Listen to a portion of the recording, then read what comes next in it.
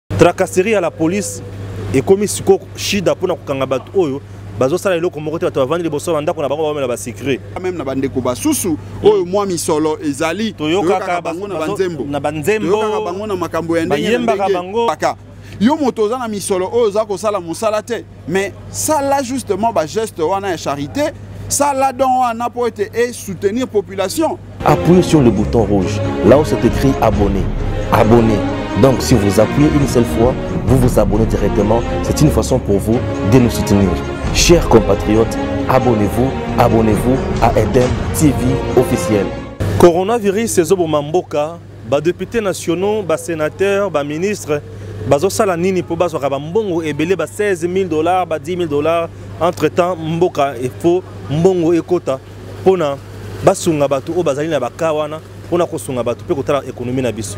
tracasserie ya la police ekomi siko shida mpona kokanga bato oyo bazosala eloko moko te bato bavandi liboso ya ndako na bango baomela basecret nini bandeko na biso ya lamuka bazokanisa na makambo oyo ndeko blanchard mbote mbote ndeko stéphane mpo na likambo etali coronavirus salaire ya badepute nationaux basénateur baministre est ce que esengeli tikala kaka ndenge wana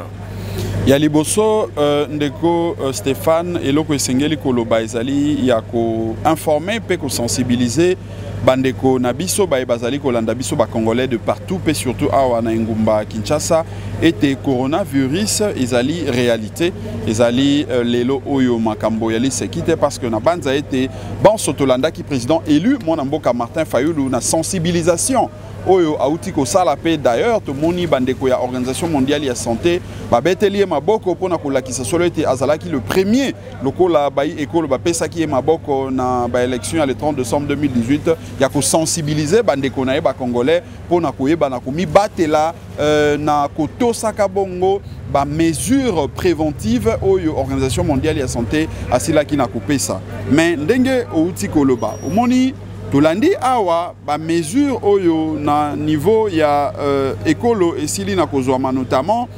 kokanga ba école kokanga ba église kokanga ba euh, université ba terrasse mpe bongo na bongo bamesure wana ndeko Stéphane eloko esengeli to retenir en terme ya conséquence na yango ezali solo ete ekokweisa oyo ezali économie na biso ba PME ebele ba petite et moyenne entreprise ebele ekoyebana kokanga mpe ekosala ete bato basentir justement mwa mpasi wana na kote ya misolo nzokande mpo na koyebana koaccompagne bamesure wana esengeli ndenge tomoni yango na états-unis donald trump asili na kodisponibilize 1000 euh, milliards mpo na koaccompagne baaméricain na euh, bamesure wana ya kobundisa euh, corona tomoni yango mpe ndeko macron adisponibilize je crois 350 milliards donc bikolo nyonso basili na kozwa yango mais awa epai na biso tomoni solo ete mwa irresponsabilité esalami na kote wana nzoka nde biso awa par rapport ya motuna na yo ndenge otuni ezali na bandeko basusu na moi ya lelo oyo misolo oyo bazali kozwa puiske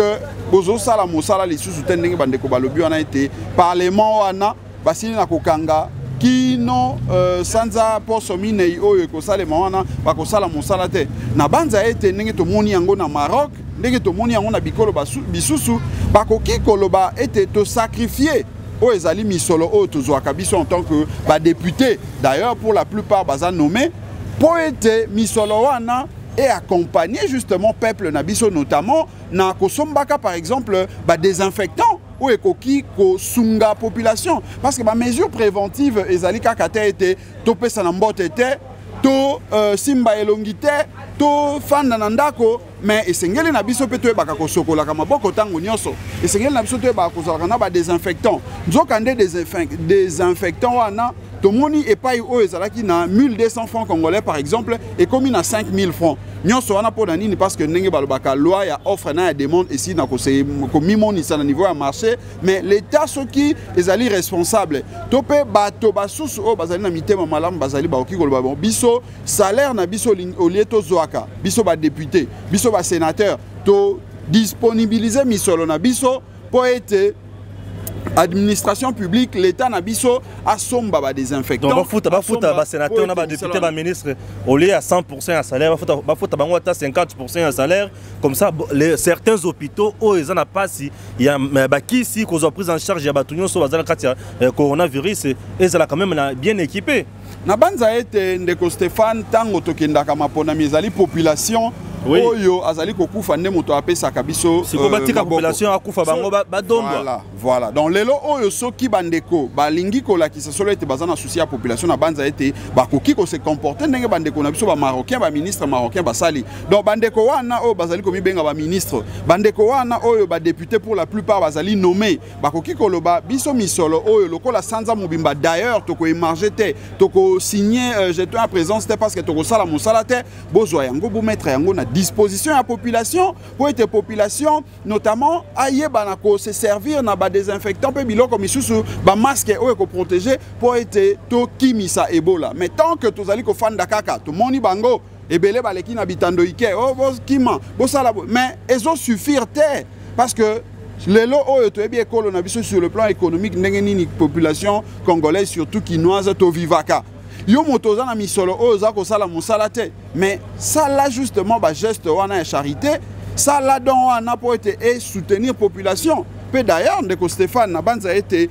tokoki koprofite awa mpo na kosala mbela meme na bandeko basusu oyo mwa misolo ezali toyokaka bango na banzembo na banzemboyokaka bango na makambo ya ndenge na ndenge baninga na biso ya bale d'ailleurs tokoprofite toyoki ndeko moko euh, toyebi te soki soyo to lokuta mais ipare ke adisponibilize 2 millions de dollars mwana mboka euh, bakambu ezali eloko ya koencourage parce que lelo oyo ba mesure oyo esili kozwama panda sanza minei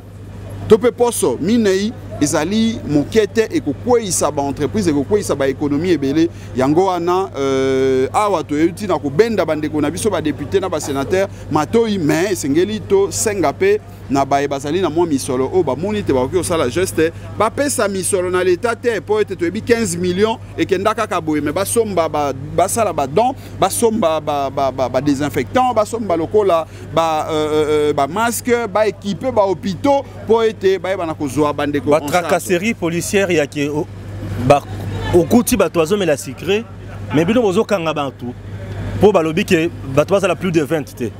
mais bato bavandi tour 5 personnes to 4 personnes ndeko infraction ezali amande mpe eza nini ndeko stéphane omoni biso bajuriste euh, eza na principe moko oyo biso tolobaka nulum crimen poe na si nelege ezali na infraction moko te oyo okoki kokangela na yango moto soki mobeko eprevoir yango te nzokande lelo oyo bandeko bapolisier wana tomoni ebimi lokola bapesi bango cop bakuti bato bafandi liboso ya lopango bazali komela mwa sucre aye na fimbo akangi ndeko akotisi ye na amigo um, akokuta bandeko na terrasse c'est vrai balobi bandeko basala te me ntango azali kokombola mwa liboso ya lopango na ye wana mpo ete ezala propre bokono ekima parce que ezali koya mpe na nzela ya salite ya ye akangi bandeko akei na bango me motuna ngai nazali kotuna bango ntango bozokanga bandeko wana na pv na bino bozotyaka infraction nini non ndeko policier maloba mokonzi te nabanza ete esengeli toyeba kosala mosala oyo peuple nyonso esengeli kosala c'est-à-dire to sensibiliser to se sensibiliser entre biso parce que corona wana ekoboma mpe yo policier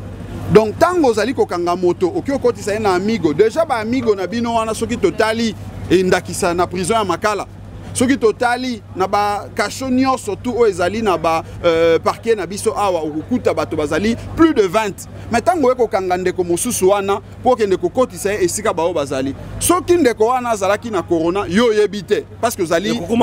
expert te mai ntango okokotisa ye esika bandeko bazali déjà plus de 20 omoni komemi contamination mpe obakisi banombre ya liwa ya motuya ya kosala ndeko policier nabanza ete ezali soki okuti moto azali koteka esika oyo epekisami ete toteka te pendant euh, euh, poso minei oyo pesa ye toli benda ye matoi parceke ezali likambo ya liwa ezali likambo ya esengo te mpe liwa wana soki eye na nzela ya virus wana ezopona te parceke yo olataka tenue nde yo ekozwa yo te parce que okuna azali moto ya opposition to ya majorité nde ekozwa ye te ezali likambo oyo biso banso esengeli to se sensibiliser na motema boboto mpo ete eyeba justement toyeba justement na kozongisa mosika bokono wana oyo ezali ya coronavirus merci bandeko coronavirus ezali koboma tomilengele